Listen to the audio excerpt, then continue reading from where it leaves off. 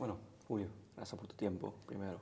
Vamos a hablar un poquito del partido anterior. Obviamente no es el resultado que queríamos, pero hablamos un poquito del rendimiento del equipo y, qué piensas de cómo jugaron. El rendimiento, como vos decís, la, primera verdad es esta, el resultado no el que queríamos de ninguna manera. Eso está bien claro. Ahora, el rendimiento del equipo ha sido muy bueno. Fue muy bueno este, hasta quedar el minuto 23 con, con 10 hombres, un rendimiento muy bueno. Y, después con, con 10 hombres, bueno, se, trabajó el partido y este, se luchó, se trató de hacer lo mejor. Y para esa circunstancia de estar 10 hombres, este, también fue un muy buen rendimiento, ¿no? Recordando siempre que está jugando contra, contra rivales de una categoría este, muy buena, ¿no? No por algo Lituania en el ranking está 60 puestos arriba nuestro. Y es un equipo que, ha obtenido muy buenos resultados. Pero más allá de ese resultado puntual que sufrimos, queda la, satisfacción de saber que, el equipo se ha, eh, se ha tornado de vuelta en el equipo que, realmente tiene que ser, que, ha evolucionado y que tiene a muchos jóvenes prontos para, para poder tener la experiencia necesaria para lograr buenas, buenas campañas y buenos resultados. Tú lo has dicho ahí un poco, pero empezamos el partido con un plan. ¿Tú me puedes explicar cuánto cambia las cosas cuando el oso le dan la tarjeta colorada y, te queda con 10? ¿Cómo cambia la, situación? Bueno, eh, en fútbol, el fútbol de hoy se ha tornado muy episódico ¿Qué quiere decir episódico? Que no tiene la misma consistencia que se tenía antes, es decir, cambia continuamente, hay varios cambios durante el propio partido. Al margen de eso, sigue existiendo eh, dos factores, uno por sobre todas las cosas que es el rey de las tácticas, que es el gol, cambia todo. Y el otro factor que cambia también todo es lógicamente una expulsión, porque una expulsión eh, te lleva a determinados cambios que no solo son de jugadores, porque en el caso este en el que tiene que entrar es, es, un portero y el que tiene que salir es un jugador de campo, sino que aparte varía también la dinámica, la dinámica del partido. Por eso digo que a pesar de, de quedar con 10 hombres, los jugadores cumplieron una muy buena labor de sacrificio, ya lo habían hecho, si vos recordás, contra Holanda. Contra Holanda había pasado lo mismo y lo habían hecho muy bien, a pesar que también el resultado no fue, eh, no fue el que queríamos. Pero eh, te cambia mucho, te puede cambiar mucho, sí. Después de la roja, obviamente, entra, entra Banda, el Bradley, que él mismo está haciendo un gran temporada con, con St. Joseph's. ¿Cuánto tranquilidad como entrenador te da sabiendo que tiene alguien de, de esa calidad en la plantilla? La tranquilidad es que todos los jugadores que elegimos, los elegimos por algo. En el caso del arco, tenemos una gran tranquilidad y yo siempre les hablo y les digo lo mismo, tanto al Oso, Colin, como, como Banda, como López y como Hankin, que ahora se recuperó y está. Son cuatro goleros, son cuatro porteros eh, de muy buenas condiciones, de buena estatura. Eh, ni que hablar que como personas son muy buenos también, que son jóvenes, que tienen un futuro enorme, y yo ahí siempre, en eh, el puesto para mí de, portero es este, son todos los puestos fundamentales, pero en el puesto de portero es muy, es muy importante la, seguridad.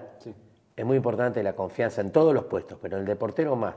¿Por qué te digo en todos los puestos? Y porque también necesitan confianza los demás jugadores, pero un lateral puede jugar de volante, un lateral puede jugar de defensa central, un defensa central puede jugar de lateral, de volante, de mediocampista, un mediocampista de delantero, un delantero de mediocampista, pero el golero solo juega, el portero solo juega de portero. ¿Está claro? Entonces, en el caso mío, particularmente mío, no digo que, tenga lo que sea, lo que, sea lo que tenga que ser, sino que es mío. Em, en ese aspecto, eh, yo soy muy exigente en que no me gustan las rotaciones, no me gusta, lo he comprobado como jugador y también como entrenador. Eh, bueno, cuando hay buenos porteros, vos jugás un partido, yo otro, vos jugás en la Copa, vos en el campeonato. No, siempre pensé que es mejor, juega un portero, se le mantiene, el otro está en buen nivel, tiene que esperar, pero sabe que tiene que esperar porque está en un grupo que es muy bueno, en una familia que es muy buena, y que todo lo que se respetó a un portero que jugó anteriormente se le va a respetar al que estuvo esperando todo ese tiempo para, para poder jugar. Ese es mi concepto bien claro con, con referencia al arco. Cuesta jugar, cuesta variar, pero cuando el que juega siente todo el apoyo, siempre, totalmente. Eh, no hay variante, no hay que en un partido perdiste por tantos goles y entonces siempre cuando perdés por goles se mira el arco, porque el arco es la única, es la última foto que hay. Sí. Hay una foto ahí, está la pelota, está el portero. Entonces generalmente todo el mundo te dice, no, pero el portero todo bien, sí, pero eh, hablando en idioma de fútbol, actuó bien, pero se comió tres, cuatro, cinco. A mí no me entra eso. Los goles son producto, los goles en contra son producto de errores de todo, de todo incluye, ni que hablar de, nosotros los entrenadores, de todo lo que estamos luchando. No tiene por qué cargar sobre una persona ni tiene que ser esa persona responsable de eso. Y después el otro concepto es que yo generalmente no hago, no hago cambios por malos rendimientos. Hago cambio por estrategia, por táctica porque el jugador puede llegar a tener malos rendimientos, no es un robot. Entonces, si vos no le haces el soporte para que recupere, ese, se recupere de ese mal rendimiento, entonces es una puerta que se abre y se cierra continuamente, entrada y salida. Y eso no es también otro de los conceptos de que, eh, que no comparto, eh, que no comparto porque estamos en una selección, hay poco tiempo de trabajo, hay pocos días entre partidos y aparte estamos jugando en la elite, en la elite de la elite, no estamos jugando la Champions, la Europa, la Conference, estamos jugando en la elite. La elite quiere decir que todos aquellos que juegan en la Champions, la Europa y la Conference están juntos y concentrados al top nivel para jugar con, sus selecciones. Entonces muchas veces las razones de, de, este, de determinadas situaciones eh, pueden no ser comprendidas, pueden no ser aceptadas, pero eh, sí por el grupo en, el que, eh, en el que estás. soy un entrenador que generalmente tampoco me gusta hacer cambios en el entretiempo, por lo mismo, porque pienso que siempre el jugador y el núcleo que tiene que tener la oportunidad de rehacerse si está haciendo cosas que, no son buenas. Y generalmente trato de tampoco eh, realizarlo cuando, cuando la situación viene mal, porque se podría dar el pensamiento de que eh, no pasa en nuestro grupo, pero que un jugador esté esperando que pierdas para poder jugar. Yo ese concepto lo quiero erradicar totalmente. Los jugadores ya lo saben. Hay cambios cuando los resultados son buenos, hay cambios tácticos y estratégicos, pueden ser muchos, no hay problema, pero nunca por mal rendimiento, porque al jugador hay que apoyarlo. Y nunca por la pérdida de un partido, porque tenés que mantener la personalidad y tenés que mantener la seguridad del jugador de que entra y juega, puede salir por un cambio táctico estratégico, puede salir por una lesión, pero nunca por un bajo rendimiento por haber perdido un partido. Claro, claro, estoy de acuerdo. Lo ha dicho ahí, pero teniendo todo eso en cuenta, eh, en cuenta, obviamente, esto para ti es un excelente ejemplo de cómo el fútbol es del grupo, de nuestra familia y no solo de los titulares. Claro, totalmente, porque el concepto nuestro, cuando llegamos en el 2018, eh, generalmente las elecciones se juntan poco tiempo, eh, los jugadores tienen alto nivel competitivo, eh, juegan en, ligas muy poderosas. a nosotros nos ocurre al revés, o sea, no tenemos la posibilidad Entonces lo que pensamos siempre desde el 2018 fue el primer concepto que hablamos con los jugadores, es que tendríamos que formar una familia para poder que esa familia diera paso a un grupo y para que ese grupo se transformara en un equipo. Para eso tienen que haber conceptos tienen que haber principios y valores. Realmente te tenés que comportar como en una familia. ¿Qué quiere decir eso? Lo primero de todo que hay que erradicar es el egoísmo, la egolatría. ¿eh?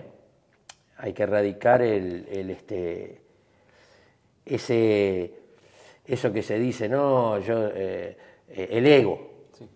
Hay que erradicar el ego. ¿Por qué hay que erradicar el ego? Porque lo que, lo que hay que, que, sustanciar es el autoestima, que es totalmente diferente. Mm. El ego no sirve, lo que sirve es el autoestima.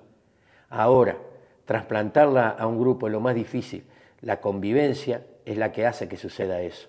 Por eso para nosotros es tan importante todos los días que nos juntamos antes, porque no solo logra la actividad estrictamente futbolística, táctica, estratégica, sino que también logra la humana, la de que jugadores que están en diferentes equipos lleguen a sentir lo mismo y lo trasplanten al concepto de familia, principios y valores.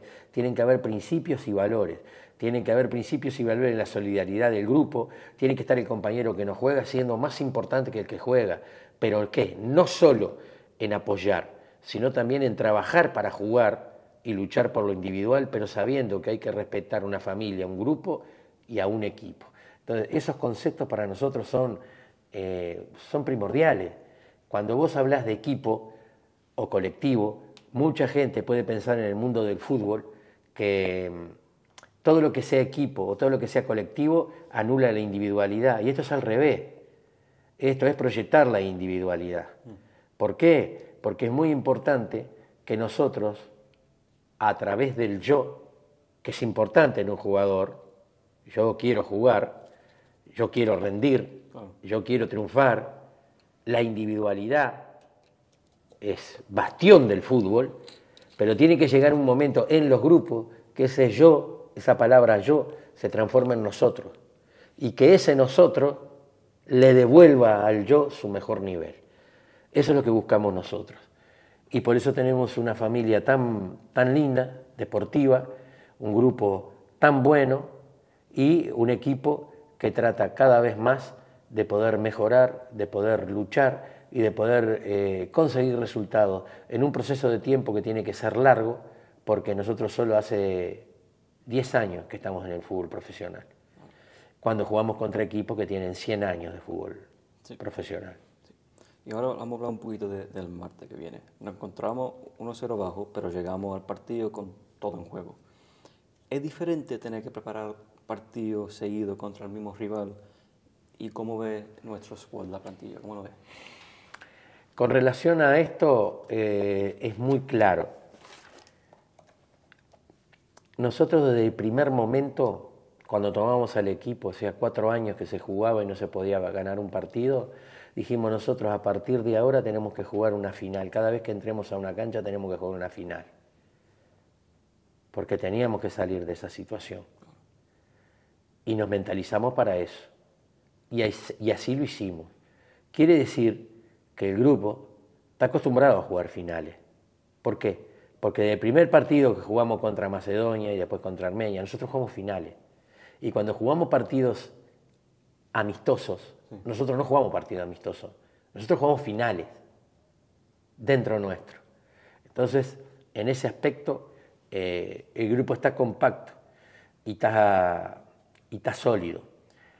en el aspecto de lo que, de lo que significa em, un partido que realmente se divide en dos tiempos de 90 minutos, eh, amerita, lógicamente, una, postura táctica y estratégica clara y definida.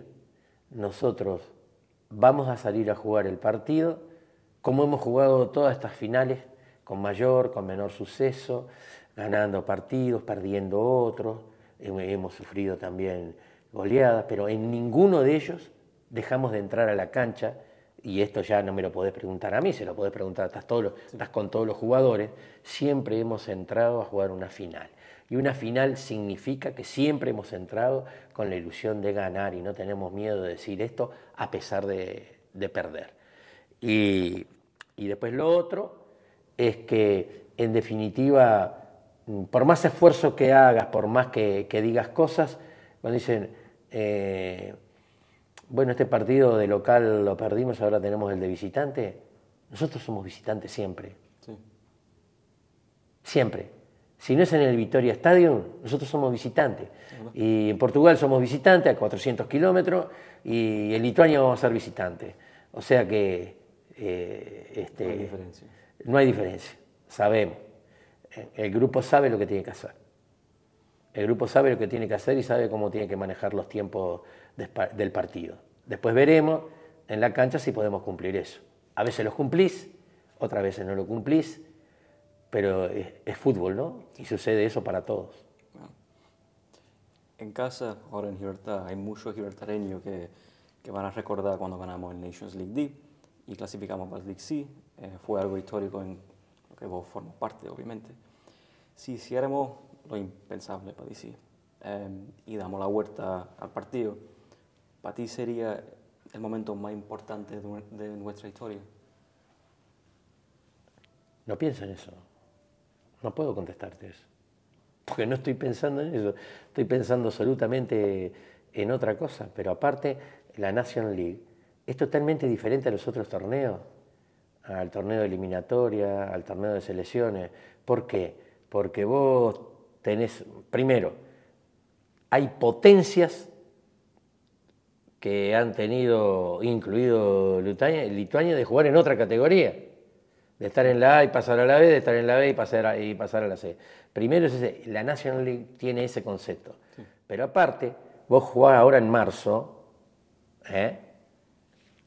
y en septiembre tenés de vuelta la National League. Por eso es totalmente diferente a todos los otros torneos. ¿ah? Y, y nosotros, en este momento, en lo único que pensamos, en lo único que pensamos es en este, este partido que tenemos.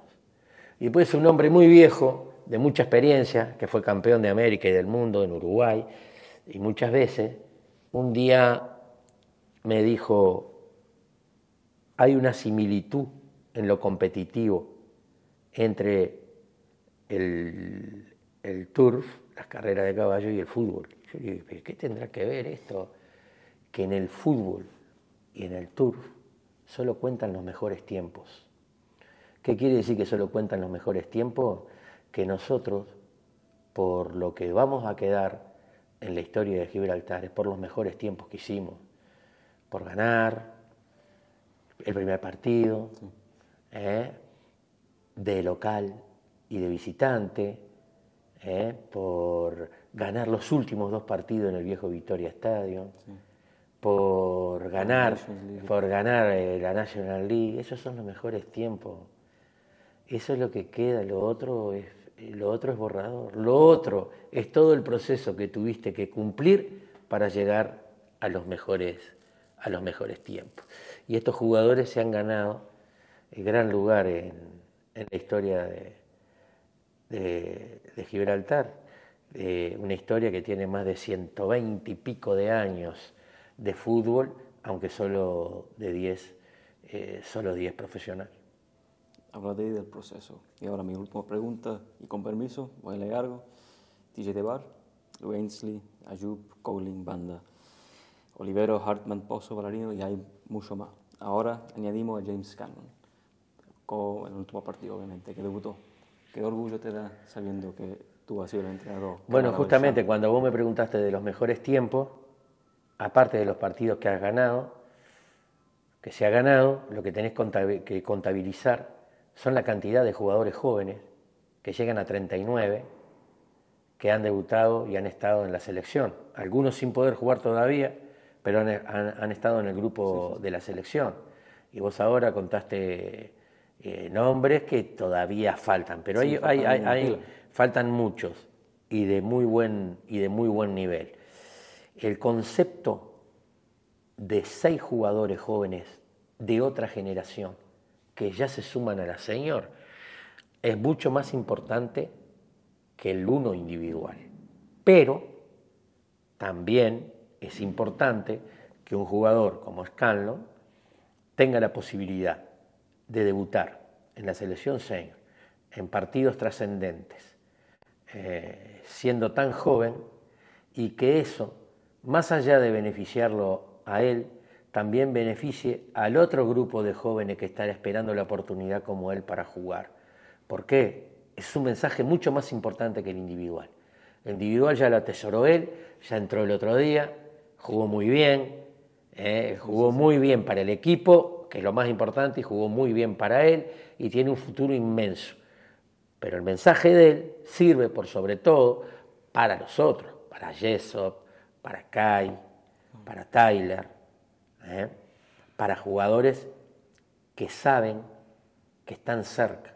Y el mensaje es mucho más grande todavía para las selecciones su 17 su 19 y su 21 porque están mirando y están pensando, yo puedo llegar. Yo puedo llegar.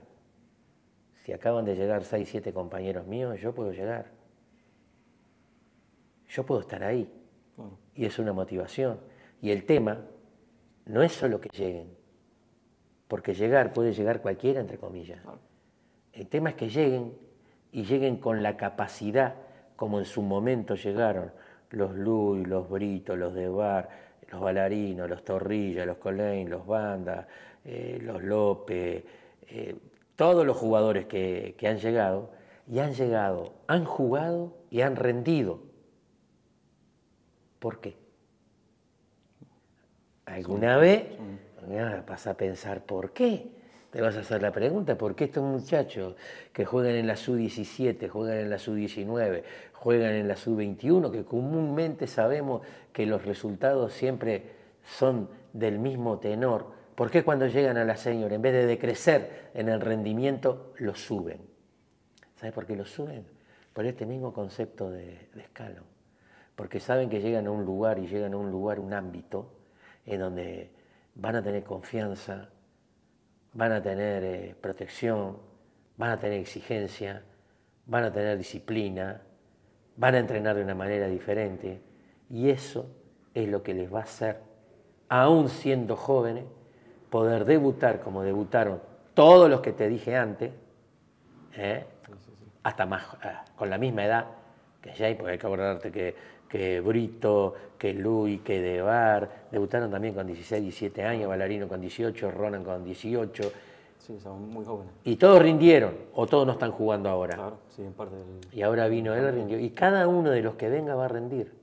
¿Por qué? Porque está armada desde el 2018 una base justamente para que se pueda cumplir un proceso. Y un proceso en el, que, en el cual vos llegues a tener jugadores con la edad para disputar, más allá que puedas clasificar o no, eh, tres mundiales, 12 años más. Ahí también está entre los mejores tiempos, lo que dejas como piedra angular para que siga el legado y sigan creciendo los jugadores. Que en el medio de todo eso eh, van a haber derrota, clarísimo. Que en el medio de todo eso jugando, por ejemplo, Conference League, te llegué a pasar, no recuerdo ahora si no fue Alemania, Escocia este, bajó a otra divisional, Alemania bajó otra. La Conference, eh, la National League, lo que tiene es eso. Date cuenta que ahora estamos en marzo y en septiembre, octubre y noviembre están todos los equipos viviendo lo mismo, porque es súper competitivo, la más competitiva de todas. ¿Por qué? Porque si no estás entre los tres primeros, tenés que ir a otra, tenés que ir a otra categoría. En septiembre empieza otra y el año que viene empezará otra. Por eso ha tenido tanto auge, por eso es tan importante y por eso es tan importante haber ganado como ganamos nosotros el, grupo. De... Perfecto, bueno, muchísimas gracias por tu tiempo. No, por favor, gracias a ti. Un placer.